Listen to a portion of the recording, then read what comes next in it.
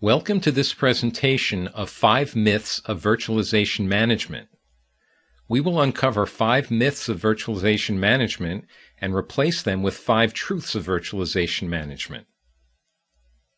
The first myth is that virtualization makes monitoring easier because there are fewer servers to monitor. While virtualization does reduce the number of physical servers, this does not necessarily simplify monitoring. The truth is virtualization makes monitoring more complex.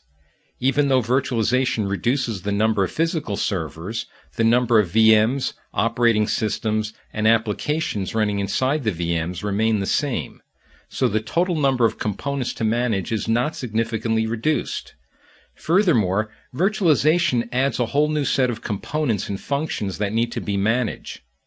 These include hypervisors, service consoles, vSwitches, vMotion, resource pools, clusters, and so on.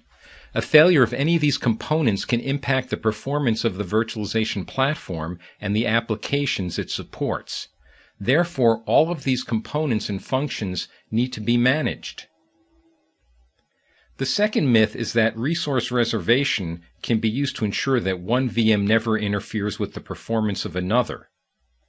The truth is, resource reservation is not always possible, nor is it efficient. First, not every resource can be reserved statically. CPU and memory can, but disk and network bandwidth cannot. Secondly, static reservation of resources results in underutilization of those resources. So, for example, statically reserving CPU and memory for a VM prevents all other VMs from using those resources even if they are idle. As shown in this figure, unexpected load to the media server is impacting the Oracle database server. Without the right monitoring tools, you would be at a loss for isolating this type of resource contention.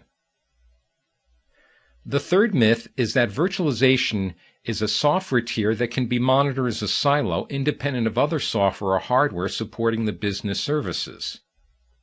The truth is, virtualization monitoring must be integrated into business service monitoring to be effective.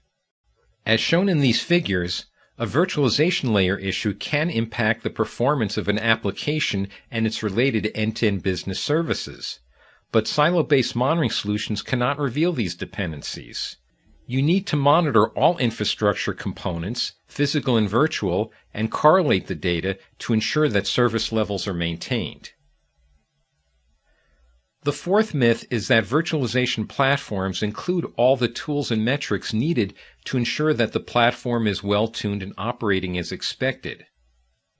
The truth is, virtualization platform metrics show only the outside view of each VM, the outside view does not reveal why a VM is taking excessive resources. Rather, an inside view of each VM is needed to troubleshoot VM performance problems. In this example, CPU has spiked on a virtual desktop because the user was running Windows Media Player. Without an inside view into each VM, you would be at a loss for why CPU was high on one desktop but not another.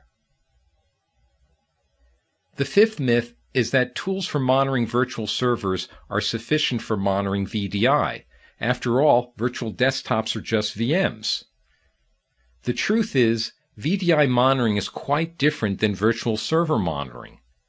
First, the workload of a virtual desktop is dynamic and depends on the user who is logged into that desktop. Therefore, VDI monitoring needs to be based on user activity, not VM activity. Second, the virtualization platform is only one of the tiers in a VDI. End-to-end VDI monitoring requires monitoring all of the components supporting the VDI, including connection brokers, terminal servers, profile servers, license servers, and so on. And finally, while agent-based monitoring is reasonable for virtualized servers, an agentless method is more practical for seeing inside thousands of dynamically provisioned desktops. So if you're deploying VDI, don't try to use an existing virtual server monitoring solution as is. Rather, look for a monitoring solution that is specialized to handle the unique characteristics of VDI. In summary, we have identified five truths of virtualization management. 1. Virtualization makes monitoring more complex than before. 2. VMs can interfere with each other if the infrastructure is not carefully planned and monitored. 3. Virtualization must be monitored in the context of the business services it supports in order to be effective. 4.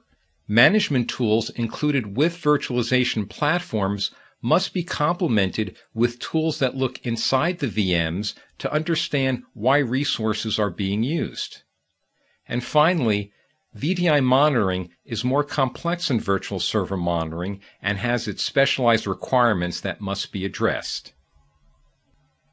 For more information on ways to best monitor your virtualized infrastructure, please visit us on the web at www.eginnovations.com or email us at info at eginnovations.com.